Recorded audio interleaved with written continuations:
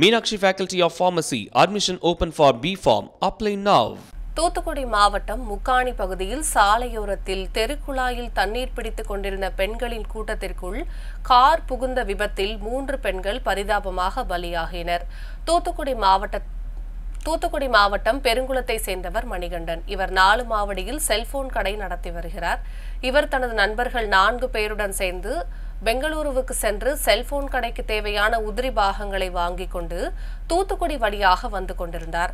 அப்போது முக்காணி பகுதியில் சாலையினோரம் தெருக்குழாயில் தண்ணீர் பிடித்துக் கொண்டிருந்த பெண்கள் கூட்டத்தில் மணிகண்டன் ஓட்டி வந்த கார் புகுந்தது. இதனால் அதே பகுதியை சேர்ந்த நாட்டார் சாந்தி பார்வதி அமராவதி ஆகிய மூவரும் சம்பவ இடத்திலேயே பலியாகினர். மேலும் சண்முகத்தாய் என்பவர் படுகாயமடைந்தார். இது குறித்து அக்கம் பக்கத்தில் இருந்தவர்கள் அவரை மீட்டு சிகிச்சைக்காக தூத்துக்குடி மருத்துவக் கல்லூரி மருத்துவமனைக்கு அனுப்பி வைத்தனர்.